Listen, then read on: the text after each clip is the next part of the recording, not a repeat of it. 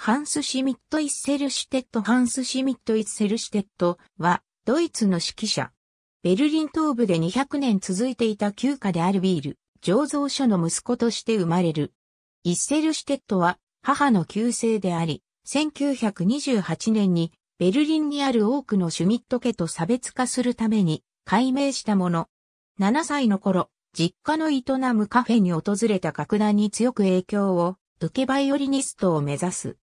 音楽に造形の深かった両親はバイオリンを買い与え、9歳の時に家族でカール・ムックの指揮するワーグナーのローエングリンをベルリン王立歌劇場で観覧し、以降次第に音楽に見せられていった。中でも家族コンサートで演奏したモーツァルトのクラリネット競争曲からは生涯における音楽的な影響を受けたと語っている。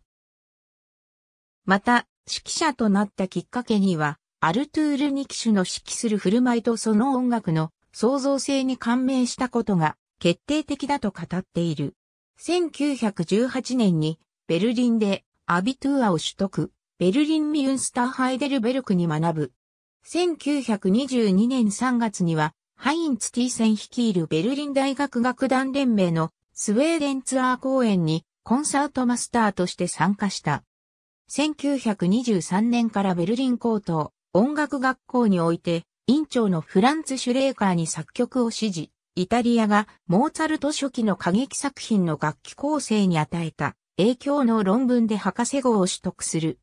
1923年にバルメンの歌劇場で。コレペティートルを務め、1928年には自作、ハッサンの勝利を演奏するに至った。その後、ロストックダルムシュタットで研鑽を積み、1935年にハンブルク国立歌劇場の主席指揮者となった。1942年にはベルリンドイツオペラの歌劇監督に就任。1944年8月には芸術家としての保護者ゴトベグニデイテンリステを受け、戦線に向かうことはなかったが、ナチス党員にはならなかった。ナチスドイツの敗戦後、1ヶ月も経たないうちに、英占領軍のジャック・ボーノフ少佐は、占領地域の北、ドイツにおいて、BBC 公共楽団を模範にした還元楽団の設立を模索し、ヒナチ党員であったシュミット・イッセルシュテットにその任を託した。シュミット・イッセルシュテットは実現に向け、直ちに各地を回り、楽団員を招集した。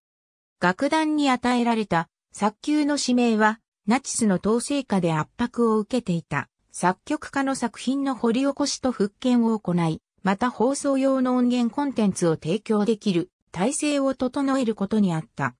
シュミット・イッセルシュテットは超人的な速さでこれを実現し、1945年8月にはユーリメ入院を招いて第1回の演奏会を実現させた。この時の演目は、メンデルスゾーンのバイオリン競争曲だった。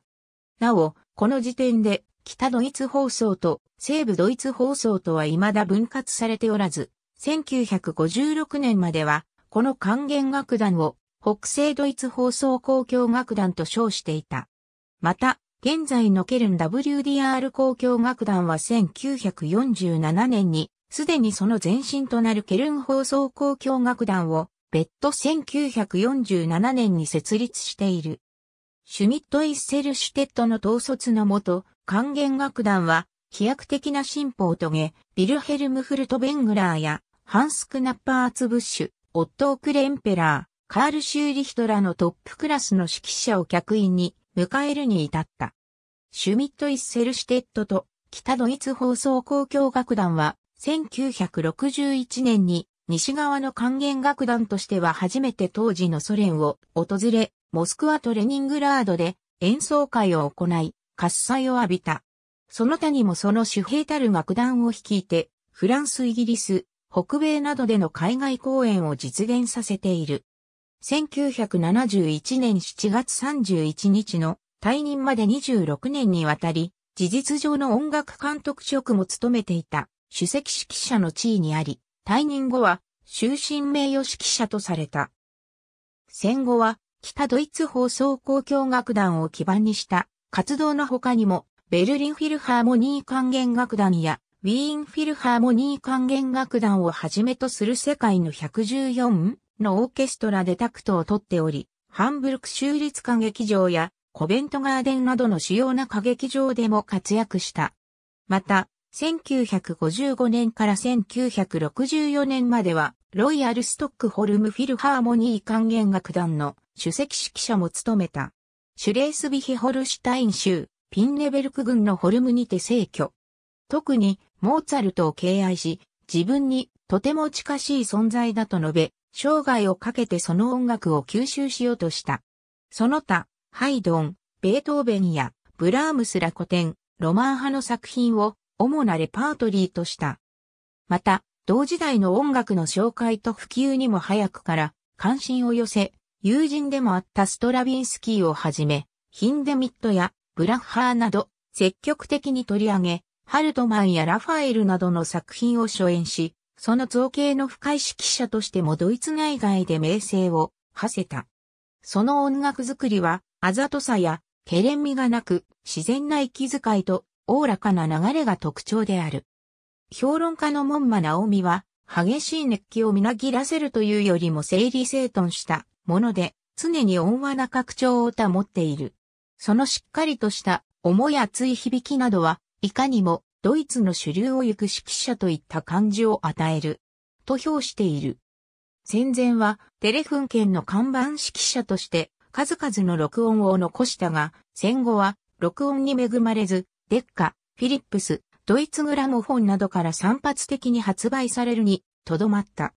しかし、近年ターラなどのレーベルから放送用録音の音源が世の中に送り出され、彼の音楽性を伝える一助となっている。戦前の商業録音戦後の商業録音主な放送録音フランスにおける客演演奏のテレビ放送用ライブ収録と一本のオペラ全曲のフィルム版が残されている。このうち DVD 化されたものとしてドリームライフなどからフィガロの結婚と EMI から発売されているカール・リヒター式のドイツレクイエムが収録されている DVD のボーナストラックとしてワーグナーの管弦楽曲2曲が収録されたものがある。なお、ベートーベンの公共曲も含めたフランス国立放送管弦楽団との演奏映像は日本でも過去数回テレビ放送されている。イッセルシュテット自身は登場しないが、1955年に北ドイツ放送が制作したテレビ短編バレエ映画魔法使いの弟子の音楽指揮を担当している。有名なリューカス版ではなく、バルター・ブラウンフェルス作曲によるバレエ音楽で監督はマイケル・パウエル、主演はソニア・アローバ、出演はハンブルク州立歌劇場バレエ団、演奏は北ドイツ放送交響楽団。13分ほどショートバージョンが現存しており、マイケル・パウエル監督のホフマン物語の DVD に特典映像として収録されている。1928年にユダヤ系のゲルタ・ヘルツと結婚し、ペーターとエーリヒの二人の子供を設けたが、その後、ユダヤ人迫害を避けるため、イギリスへの移住を計画して彼女とその息子たちを国外へ移し、1935年に離婚。ゲルタたちは1938年にイギリスへ渡った。その後、ハンブルク州立歌劇場のバレリーナ、ヘルガ・スベトランドと1936年に再婚し、三男のアクセルを設けた。息子エーリヒは、後のロンドンイコール A、デッカレーベルの敏腕プロデューサー、エリック・スミスであり、そのつてから、ウィーンフィルハーモニー管弦楽団による最初のベートーベン交響曲全集をはじめとする秀逸な録音を残している。